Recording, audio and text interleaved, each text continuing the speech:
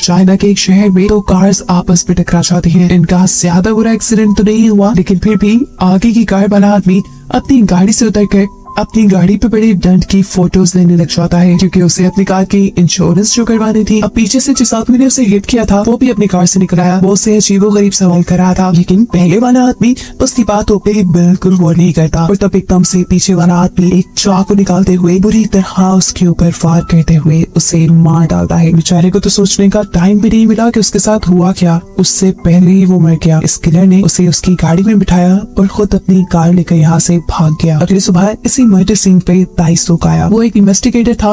उसने यहाँ का सारा जायजा लिया और फिर गाड़ी में पड़े हुए डेंट की तस्वीर लेकर यहाँ से चला गया। उसके बाद हम मिलते हैं डोंग सुनामी एक गैंगस्टर से। कोरिया का बहुत बड़ा गैंगस्टर है और इसका सबसे बड़ा गैम्बलिंग बिज़नेस है कोरिया के अंदर। इस टाइम वो अपने दुश्मन गैंग के लीडर से मिलने के लिए आया था, जो बिना वजह उसके बिज़नेस में डाउन गड़ा रहा था। गैंगस्टर यहाँ उससे करने आया था डील इनकी बहस के दौरान इनके असिस्टेंट भी आपस में इन्हीं के लिए बहस करने लग जाते हैं। इस चीज़ से डोंगसो को गुस्सा आ जाता है और वो खड़े होकर सबसे पहले अपने ही असिस्टेंट को मारता है और फिर दूसरे आदमी के असिस्टेंट को मारते हुए उसके मुँह से उसके दांत ही निकाल देता है और कहता है, जब दो बड़े बात कर रहे थे तो तुम्हारी हिम्मत कैसे हुई बोलने की? हाथ में डोंगसो से बहुत सारा डर चुका था, वो यही दांतों वाली वोडका पीकर डोंगसो की डील डन कर देता है। सीन कट होकर पुलिस स्टेशन में हम दाइसो को देखते हैं, जो अपने सीनियर्स के साथ है। वो अपने सीनियर्स को बताता है की शहर में हुए पिछले कई मर्डर्स का पैटर्न सेम है। बिल्कुल ऐसा ही जैसा कल एक मर्डर हुआ है। मुझे लगता है कि ये एक सीरियल किलिंग का केस है। उसके बाद सुनते ही उसके सीनियर उसके ऊपर गुस्सा हो जाते हैं और कहते हैं, पागल हो, मुझे लगता है ज़्यादा हॉलीवुड मूवीज़ देखने लगे हो तुम। तुम्हारे पास एक केस है, उसी की इन्वेस्टिगेशन करो तो ज़्यादा बेहतर होगा। दूसरी तरफ़ गैंगस्टर अकेले ही अब अपने घर के लिए निकल चुका था। अभी वो रास्ते में ही था कि एकदम से उसकी कार को कोई हिट कर देता है ये कोई और नहीं था, बल्कि वही सीरियल किलर था। डॉक्सू ने कार से उतर कर देखा टाइम नॉर्मल था। उसने इशारे से किलर को वापस जाने को बोला। और खुद गाड़ी की तरफ़ बढ़ गया। लेकिन वो किलर वापस गाड़ी में बैठने थोड़ी आया था। उसने एकदम से डोंगसू के ऊपर हमला कर दिया। आज उसकी किस्मत बुरी थी। वो ये नहीं जानता था कि वो हमला किस पर कर रहा है। डोंगसू ने पीछे मुड़ते हुए उल्टा इसी किलर को पकड़ लिया। उसने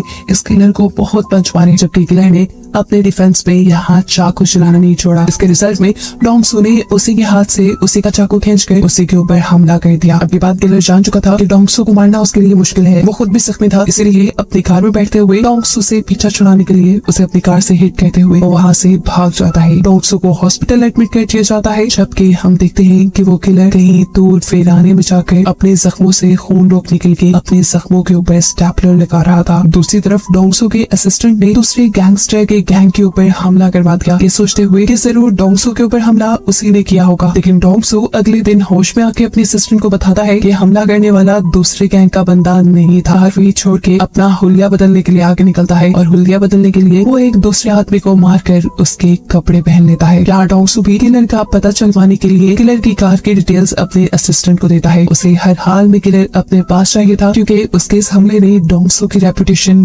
बुरी तरह गिरा दी थी। एक पर उससे मिलने के लिए ताइसुक भी आया, जो चाहता था कि डोंगसू उस पे हुए हमले की रिपोर्ट लिखवाए, लेकिन डोंगसू को पुलिस के ऊपर बिल्कुल एतबार नहीं था। ताइसुक भी जब डोंगसू के घर से वापस आ रहा था, तब उसने डोंगसू की कार देखी। उसकी कार के पीछे भी बिल्कुल वैसा ही डेंट था, जैसा सभी मर्डरर्स की कार के पीछे था। उसके जाने के बाद ओंगसू ने भी अपने बंदों को किले का स्केच देते हुए उसे ढूँढने के काम पे लगा दिया था। और चाकू वही रोड पे गिर जाता है। इस किलर को हर हाल में टाइसुक पकड़ना चाहता था। वो जानता था कि ये सब एक सीरियल किलिंग है और पकड़ना उसे डोंगसू भी चाहता था। टाइसुक ने डोंगसू से एक फेवर मांगी थी कि डोंगसू अपने ऊपर हुए हमले की रिपोर्ट पुलिस पे करवा दे और जब डोंगसू ये नहीं करता तो कुछ ही देर बाद टाइसुक उससे इस चीज़ का बदला लेने के लिए उसके सभी गैम्बलिंग स्टेशन के ऊपर रेड करवा देता है और उसकी हरकत को देखते हुए डोंगसू किलर को ढूँढने में लगे हुए थे और फाइनली फिर उन्हें किलर की कान और उसका गिरा हुआ चाकू मिल गया। इसे हासिल करने के बाद एक तीसरी मरतबा डोंगसू टाइसुक को अपने घर बुलाता है। इन चीज़ों के ज़रिए किलर तक पहुँचना डोंगसू के लिए थोड़ा मुश्किल था, लेकिन टाइसो के लिए नहीं, क्योंकि उनके पास एक अच्छी फोरेंसिक लैब थी। वो टाइसुक से कहता है, देखो, एक गैंगस्टर के लिए उसकी रेपुटेशन सबसे बड़ी होती है, और सामने की वजह से मेरी रेपुटेशन काफ़ी गिर चुकी है। मैं चाहता हूँ कि जल्द से जल्द किलर पकड़ा जाए, और इसमें तुम मेरा साथ दोगे। फिर किलर जिसको भी पहले मिल गया, वो उसका हुआ। टाइसो क्या सोच रहा था कि वो किलर को पकड़ कर अदालत लेकर जाएगा, और ऐसे उसे प्रमोशन मिल जाएगी, जबकि डोंगसू सोच रहा था कि वो किलर को पकड़ कर कुत्ते की मौत मारेगा। इनकी रियल होने के बाद डोंगसू ने टाइसो को बताया कि उन दोनों की सारी बातें रिकॉर्ड हो रही थी। अगर टाइसो ने कभी उसे धोखा देना भी चाहा तो ये रिकॉर्डिंग उसके खिलाफ है। अब डोंगसू ने किलर का स्केच और उसकी सभी चीज़ें डाइसो के हवाले करके उसे काम पे लगा दिया। ये सब क्लोज डाइसो के लिए भी बहुत मायने रखते थे। उसके हुक्म के मुताबिक उसके असिस्टेंट ने दूसरे गैंगस्टर को सोते में रात में ही मार डाला। वो भी किलर की चाकू से, ताकि उस गैंगस्टर के मरने का इल्ज़ाम भी किलर के ऊपर चला जाए और किसी को भी डोंगसू पे शक ही न हो। यहाँ पुलिस स्टेशन के अंदर अब इस केस को सॉल्व करने के लिए पुलिस का पूरा डिपार्टमेंट इन्वॉल्व हो गया। अब टाइसोंग जिसे गैंगस्टर की मर्डर की रिपोर्ट मिली थी, वो इस मर्डर को देखकर जान गया की ये काम डोंगसू का है, क्योंकि सीरियल किलर रोड पे चलते हुए अनजान लोगों को मारा करता था। इसी चीज़ के गुस्से में वो डोंगसू के पास गया। इससे पहले वो डोंगसू को कुछ कहता, डोंगसू ने उल्टा उसी को पटाख के गिरा दिया। और फिर टाइसो के सामने एक कन्फेस भी कर लिया हाँ मैंने ही उस गैंगस्टर को मरवाया है, लेकिन तुम इस बात को साबित नहीं कर पाओगे। टाइसो भी ये बात जानता था, इसलिए दिल मिलाता हुआ वो यहाँ से चला गया। जबकि अब शहर में इन मर्डर की न्यूज़ भी वायरल हो चुकी थी। सीरियल किलर भी ये न्यूज़ देख रहा था और अब उसे गुस्सा आने लगा था, क्योंकि अब उसके पकड़े जाने के चांसेस ज़्यादा थे। और दूसरा ये भी एक ऐसा मर्डर भी उसके साइड डाल दिया गया था जो उसने किया भी नहीं था। इसीलिए वो गैंगस्टर के फ्यूनरल पे गया। और गैंगस्टर के असिस्टेंट को एक लेटर देकर आया, जिसमें उसने लिखा था कि गैंगस्टर का मर्डर बेशक मेरे चाकू से हुआ है, लेकिन मैंने नहीं किया। उसने यहीं पे बैठे हुए डोंगसू की तरफ़ इशारा कर दिया। खैर इसके बाद किलर यहाँ से चला गया और उसने यहाँ से जाते ही अपने पहले वाले तरीके से एक और मर्डर कर डाला, जिसकी इन्वेस्टिगेशन भी ताइसो कर रहा था। वो भी डोंगसू के साथ मिलकर। ये लोग कार में से फिंगरप्रिंट ढूँढने की कोशिश में थे कि इतनी देर में डोंगसू के इसी पार्किंग लॉन्च के अंदर दूसरे गैंगस्टर के लोग अपने बॉस के मरने का बदला लेने के लिए उसके ऊपर हमला कर देते हैं। ये लोग बहुत ज़्यादा थे, लेकिन फिर भी डोंगसू और टाइसू घबराते नहीं और दोनों अकेले ही इन सभी को बड़ी हिम्मत से मार गिराते हैं। फिर अगले सीन में घर में अजीब गरीब किस्म की ग्रीन कलर के टैंक्स थे और बहुत सारी किताबें थी जो डेविल से रिलेटेड थी, यानी शैतानों से रिलेटेड हो सकता था कि वो ये सारे मर्डर डेविल यानी शैतानों को खुश करने के लिए किसी सेक्रीफाइस के तौर पर कर रहा हो। उसे यहाँ पर एक पिक्चर में मिली जो वो बहु डोंगसू के बनाए हुए किलर के स्केच से मैच कर रही थी। ये बहुत बड़ा क्लू था। टाइसोक फ़ौरन अपने ऑफ़िस जाता है और इस आदमी के बारे में बाकी सभी इन्फॉर्मेशन निकालने के बारे में मजीद इन्फॉर्मेशन निकाली गई और इन्हें मालूम हुआ कि किलर का नाम कांग योंग है। वो सारी इन्फॉर्मेशन इकट्ठी करने के बाद इन्हें मालूम हुआ कि सीरियल किलर के जो फादर थे, वो एक साइको इंसान थे। वो उसे बहुत मारा करते थे और ऐसे ही साइकोलॉजिकल रीजन की वजह से ये किलर बाकी सब लोगों का मर्डर कर रहा था। अब टाइसो को जो किलर की फ़ोटोज़ के घर से मिली थी, उससे वो डोंगसो को दी और डोंगसो ने ये पिक्चर अपने पूरे गैंग को दे दी और सबके सब किलर को ढूँढने लग गए। सबने मिलकर इस शहर का एक एक हिस्सा छान मारा, लेकिन उन्हें कोई सुराग नहीं मिला। डोंगसो को अब इस चीज़ से गुस्सा आ चुका था। उसे बहुत जल्दी थी किलर को पकड़ने की। इसीलिए वो टाइसोक से मीटिंग करना चाहता था, जिसके सिलसिले में वो रोड पे आ जाता है। वो अभी टाइसो का इंतज़ार ही कर रहा था कि बस स्टॉप पे उसे एक बच्ची नज़र आई। बहुत ज़्यादा बारिश हो रही थी। वो बच्ची बारिश में भीग रही थी, जहाँ डॉक्सो ने उस बच्ची को अपनी अम्ब्रेला दे दी। इतनी देर में यहाँ टाइसोक भी आ गया जिसने उस लड़की से कहा अनजान लोगों से संबंध नहीं लेना चाहिए। वो गैंगस्टर भी हो सकते हैं। जिसके जवाब में बच्चे ने कहा, मुझे तो आप ही गैंगस्टर लगते हैं। और ये सुनकर डोंगसू हंसने लग गया। यहाँ बस भी आ गई, और बच्ची बस में बैठ गई। उसने बैठते हुए भी डोंगसू का शुक्रिया अदा किया। और यहाँ एक चीज़ जो हमने नोटिस की कि इसी बस में वो सीरियल किलर भी बैठा हुआ था। रात में डोंगसू के सभी गैंगस्टर और पुलिस के सभी डिटेक्टिव्स मिलकर खाना खा रहे थे और इसी चीज़ पे डिस्कशन कर रहे थे कि कैसे किलर को ढूंढना चाहिए तभी टीवी पे इन्हें एक न्यूज़ दिखाई देती है कि उसी सीरियल किलर ने एक और मर्डर कर दिया था। इसी मर्डर साइट पे डोंगसू को अपनी अम्फीला दिखती है और वो पहचान जाता है कि किलर ने उसी बच्ची का मर्डर किया था, जिससे वो सुबह में मिला था। ये देखकर उसे बहुत दुख हुआ। इस रिपोर्ट से शहर का हर कोना इन्होंने छान मारा। रेस्टोरेंट, मोटल, शॉपिंग मॉल, हर जगह उसे ढूंढा। आखिरकार इन्हें एक ऐसा मोटल मिल ही गया जिसके ऑनर ने उन्हें ये कंफर्म कर दिया कि किलर यही रुका है। फ़िलहाल वो होटल पे नहीं था, इसलिए सब लोग मिलकर उसका इंतज़ार करने लगे। किलर देर रात में आया। सभी लोग बेसब्री से उसका इंतज़ार कर रहे थे, लेकिन आते ही इस नाटक को किलर ने भाप लिया। वो जान गया कि यहाँ कुछ ना कुछ गड़बड़ है,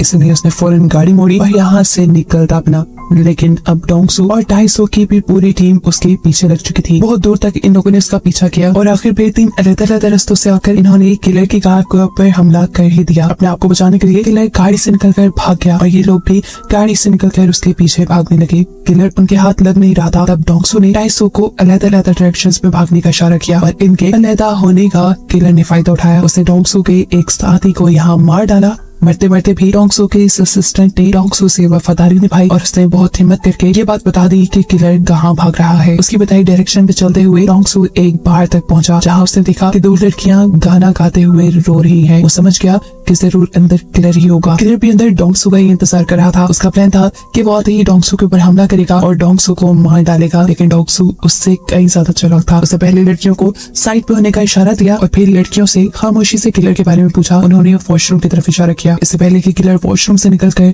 डोंगसू के ऊपर हमला करता, डोंगसू ने दरवाज़ा तोड़ते हुए किलर के ऊपर ही हमला कर दिया और दरवाजे के ऊपर से ही मार मार कर किलर को इतनी बुरी हालत में पहुँचा दिया, जैसे वो मरने के करीब हो। जिसके बाद उसने किलर को पाँव से पकड़ा और घसीटते हुए यहाँ से ले गया। टाइसोक उसे आवाज़ से देता रह गया, लेकिन डोंगसू ने उसकी हर आवाज़, हर कॉल को इग्नोर कर दिया। डोंगसू इस किलर को, इस डेविल को अपने वेयर हाउस में ले गया। उसने वहाँ जाकर डेविल यानी इस किलर को बहुत मारा बहुत मारा। लेकिन अजीब बात थी किलर सिर्फ़ पागलों की तरह हंस ही रहा था। इससे पहले कि अब मार मार कर इस किलर को मार देता, एकदम से यहाँ के शीशे टूटते हैं और कोई डोंगसू के ऊपर अपनी कार चढ़ा देता है। ये टाइसोक था जो किलर को यहाँ से लेने के लिए आया था। उसके इस हमले से डोंगसू बेहोश हो चुका था, जिसके बाद वो किलर को यहाँ से ले गया। टॉयसोक अब किसी इवॉर्ड की तरह इस किलर को पुलिस स्टेशन के अंदर लेकर जा रहा था और सब लोग उसे हैरानी से देख रहे थे। मीडिया में भी ये न्यूज़ फैल चुकी थी कि फाइनली पुलिस ने किलर को पकड़ लिया है। यहाँ हमें ये भी मालूम हुआ कि इस किलर को पकड़ने के बाद टाइसोक ने टोंगसू के बहुत से गैम्बलिंग स्टेशन के ऊपर रेड की और उसका बिज़नेस तकरीबन ठप कर दिया। लेकिन इसका भी कुछ खास फ़ायदा नहीं हुआ था टाइसोक को, क्योंकि उसकी प्रमोशन जुड़ी थी। ये साबित करने से कि वो जिस आदमी को पकड़ कर लाया है, वही सीरियल किलर है। वो उसके साथ बहुत इन्वेस्टिगेशन करता है, बहुत दिमाग कपाता है, लेकिन खुद ही फ्रस्ट्रेट हो जाता है, क्योंकि सामने वाला किलर बिल्कुल खामोश था। और पागलों की तरह हंस रहा था। टाइसो के पास उसके खिलाफ कोई भी ठोस सबूत नहीं था। बातें उसने कोर्ट में जाके बोली कि मैं मासूम हूँ, मैं किलर हूँ तो ही मेरे साथ ऐसा हो रहा है। सिर्फ़ इसलिए कि मेरी शक्ल किलर से मिलती है तो मैं किलर तो नहीं हो सकता। जज को भी उसे सजा देते हुए हिचकिचाहट हो रही थी और उसे बेकसूर भागता हुआ दिखते हुए सभी विक्टिम्स की फैमिली बहुत ज़्यादा दुखी थी। सभी लोग इंसाफ चाहते थे। तभी प्रोसिक्यूटर यहाँ जज से परमिशन लेता है। एक आखिरी गवाह को बुलाने के लिए। ये गवाह कोई और नहीं था, बल्कि डोंगसो ही था। एक वाहिद गवाह, एक वाहिद विक्टिम, जो इस किलर के वार से बच निकला था। वो यहाँ कैसे आया था? इसके पीछे भी एक कहानी थी। टाइसो के पास इस किलर के खिलाफ कोई सबूत नहीं था, जबकि वो इस किलर को सजा दिलवाना चाहता था। इसीलिए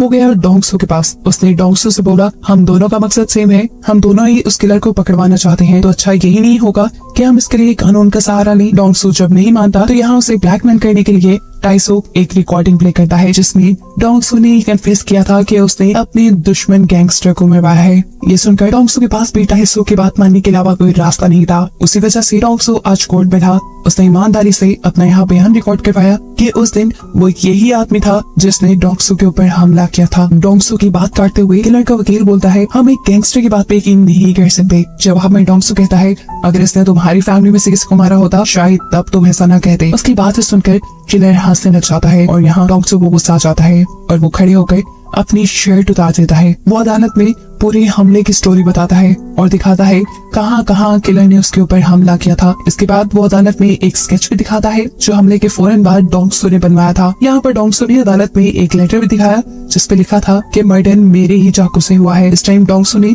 इस लेटर का दूसरा हिस्सा फाड़ दिया था, जिसमें ये लिखा था कि मर्डर मैंने नहीं किया। अपनी बातों पे यकीन दिलाने के लिए डोंगसो जज से कहता है, आप चाहें तो इस किलर की उतरवा के देख सकते हैं, क्योंकि उस रात मैंने भी इस आदमी के चेस्ट पे वार किया था। पुलिस जब चेक करती है तो निशान बिल्कुल वही था जहाँ डोंगसू ने बताया था। और ऐसे डोंगसू के बयान की वजह से किलर को ज़िंदगी भर की सजा हो जाती है।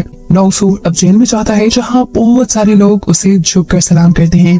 यही दूर बेंच पे हमें एक आदमी दिखाया जाता है, जो वहाँ बैठा बुक पढ़ रहा था। ये कोई और नहीं, बल्कि वो सीरियल किलर था, जिसे देखकर डोंगसू हंस रहा था। असल में अपना कन्फेशन रिकॉर्ड कराना, अपने ही जुर्मों पे जेल आना ये सब भी डोंगसू का ही प्लान था, क्योंकि उसने कसम खाई थी कि अपने ऊपर हमला करने वाले आदमी को वो खुद मारेगा और टाइसो के साथ काम करने की शर्त भी उसने यही रखी थी कि अदालत की सजा सुनाने के बाद किलर को कानून नहीं मारेगा, बल्कि वो खुद मारेगा, जिस पर टाइसोक मान गया था। ऐसे प्लान के मुताबिक टाइसोक ने उसे उसी जेल में रखा, जहाँ पे पहले से ही किलर था। इसीलिए तो डोंगसू अब बहुत खुश था। वो हँसते हुए एक रस्सी लेकर वॉशरूम में जाता है, जहाँ पर किलर पहले से ही नहा रहा था। डोंगसू को देखकर उसकी सांस से खुश्क होने लगी। डोंगसू ने मुस्कुराते हुए से कहा, चलो वो खेल खत्म करते हैं जो हमने शुरू किया था। यानी साफ़ ज़ाहिर था कि यहाँ डोंगसू उसे मार देगा।